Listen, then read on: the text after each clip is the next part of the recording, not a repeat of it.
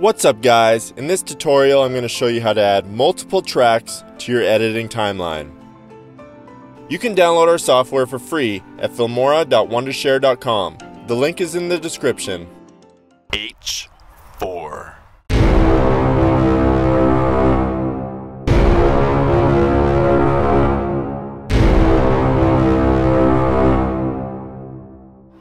Yes. Darn it! I don't want to play anymore. Come on. C4.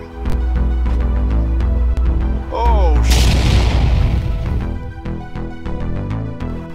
Was it a hit?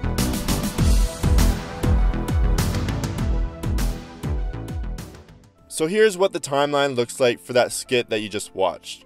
The tracks I'm going to focus on in this tutorial are the picture-in-picture tracks, text tracks, and audio tracks, because those are the ones where you can add multiple track layers. I'm going to go ahead and delete those clips, that way I can show you how I added the additional track layers.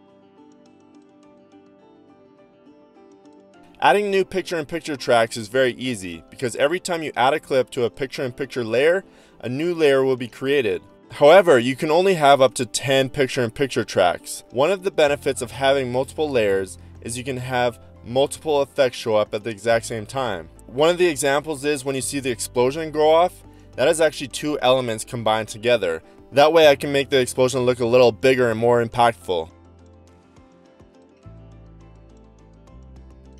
Adding text tracks is a little different. Right now you can see that I only have one text track. In order for me to add a second or third, I need to click on the add new track button in the bottom left corner. If you're using Filmora on a Mac, then the button you're looking for will be in the top left corner of the timeline and will be a little plus symbol.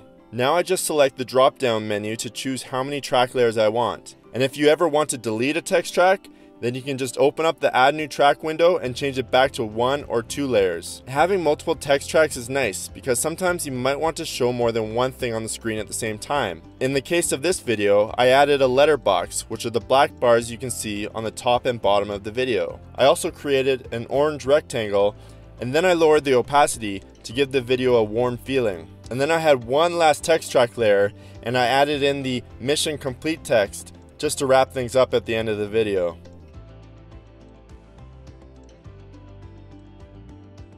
Adding audio tracks are the same as adding text tracks. Go down to the bottom left corner and click on Add New Track. If you're using Filmora on a Mac computer, then you can add more audio tracks by clicking on the plus symbol in the top left section of the timeline area.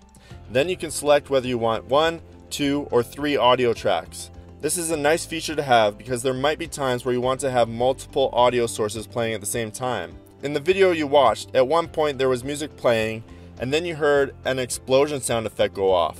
I wouldn't be able to do this if I only had one audio track available.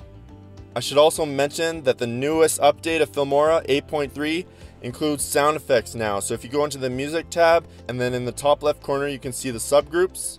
If you click on sound effects, you'll have a few to choose from that you can add into your own videos. Hope you enjoyed this Filmora tutorial. Be sure to tune in every week to learn how to edit videos. And if you haven't done so already, go ahead and hit that subscribe button.